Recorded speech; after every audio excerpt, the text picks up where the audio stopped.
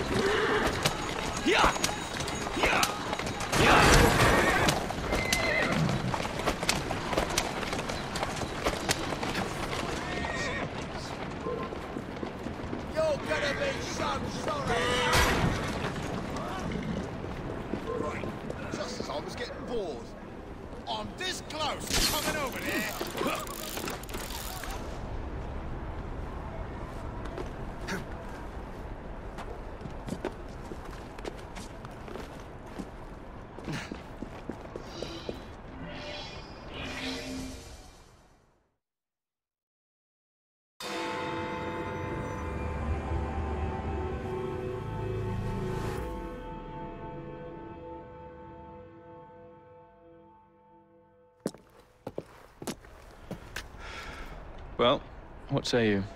You're not gonna like it. Now, see here. I am graced with the Abberline family's robust constitution. Twopenny's robbing the Bank of England. The governor of the bank. I think I might need to sit down. There's no time for that. Bastard's probably deep in the vault by now. However you get in. I don't want to know. Of course. But do you know how I can get in?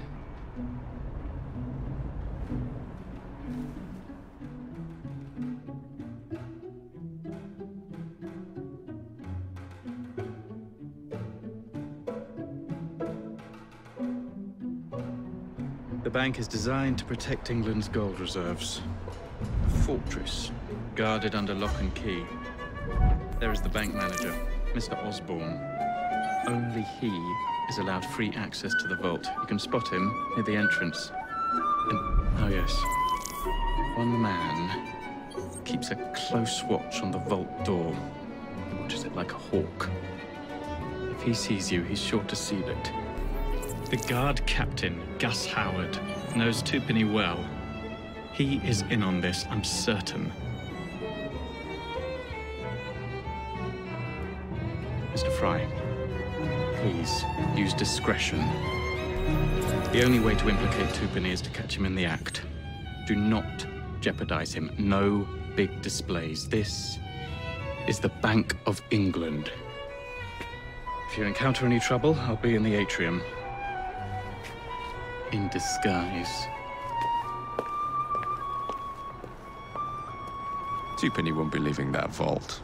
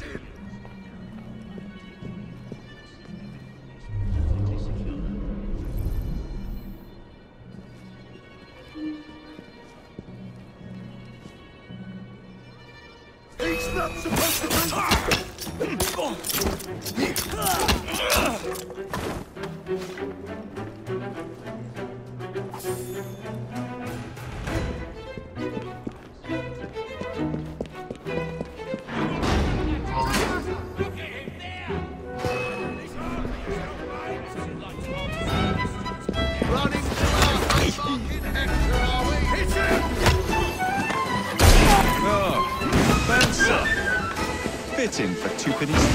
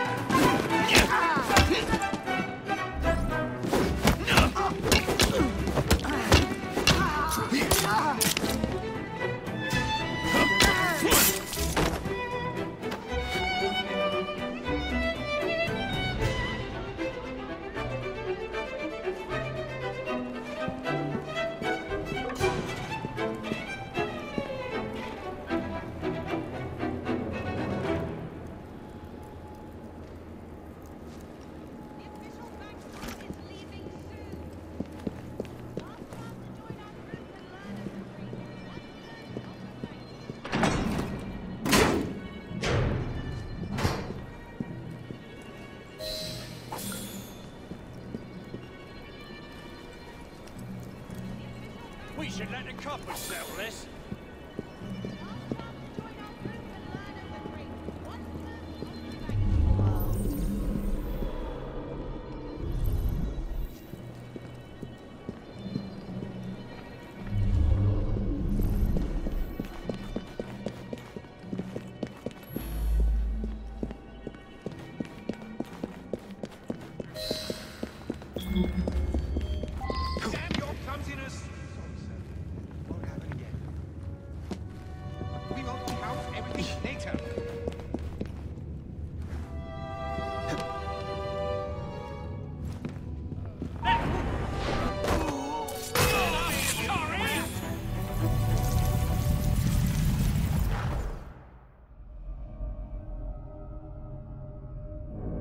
You've stolen your last shilling from the people of London.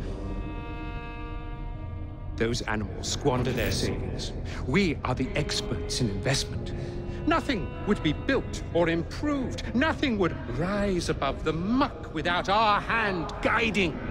No creating the future. They benefit as much as their work.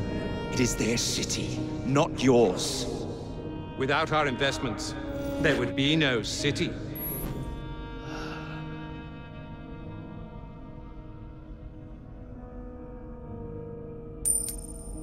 For the path of the dead.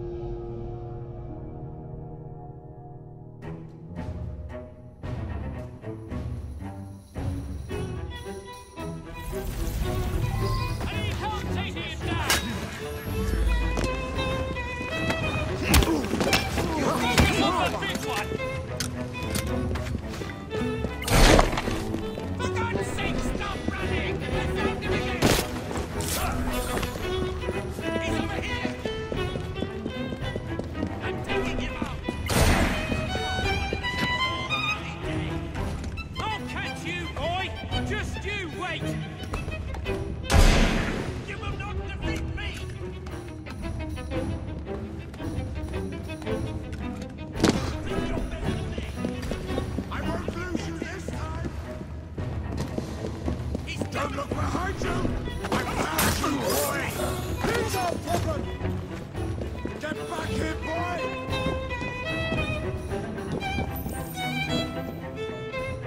I'll put a bullet in his brain! You're pitiful!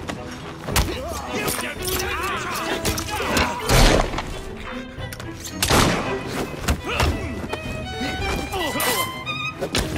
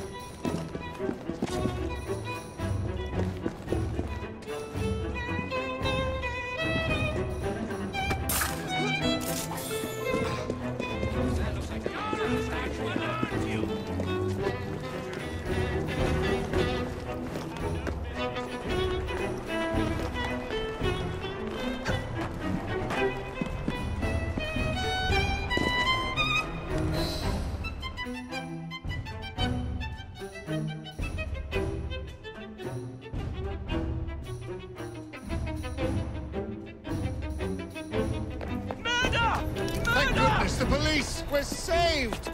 Arrest them all ah. for robbing the people of England. The Bank of England is closed until further notice.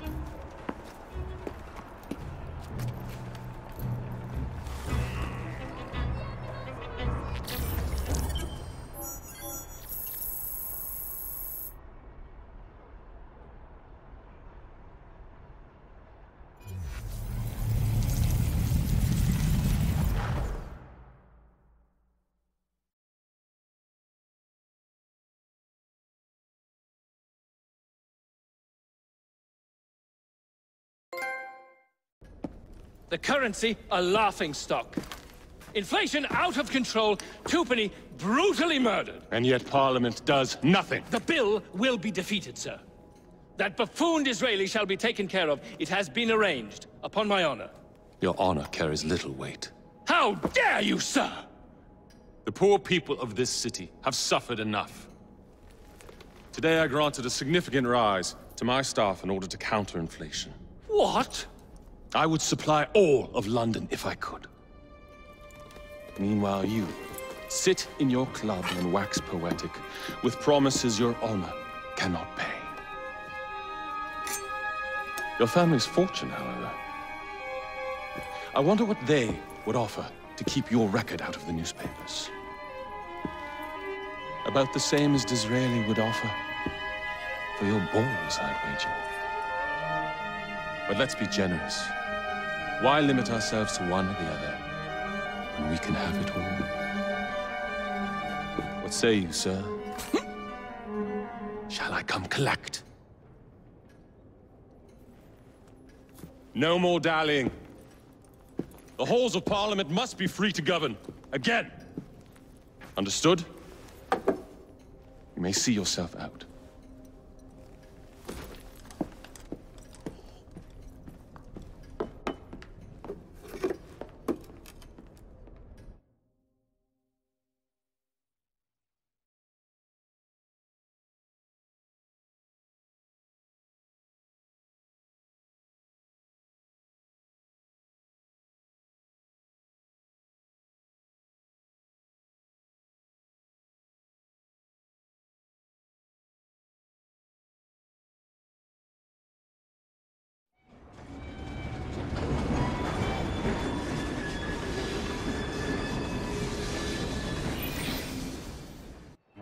Dear Mr. Starrick, Men hired. Strike tomorrow. Disraeli's death will stall Corrupt Practices Act indefinitely. Gladstone will be far more pliable. May the father, etc., etc. B. So Starrick's got his finger in politics, has he? I need to enter the Sinopian Club and find out who B is. Tread delicately around Parliament. As if I don't usually. Your indiscretion at the Bank of England caused British currency to nearly collapse. Nearly is the operative word. Speaking of collapses, what of the key you found that unlocks very little? Henry took it for research. I am confident that the vault is ours. Nearly ours, Evie. Nearly.